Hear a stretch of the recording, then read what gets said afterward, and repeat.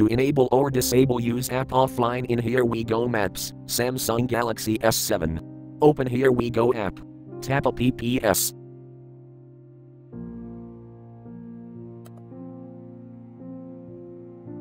Tap Here WeGo.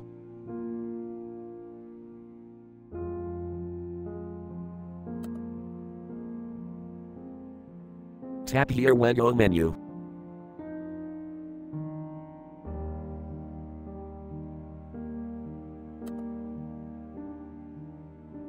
Check use app offline to enable, or uncheck to disable.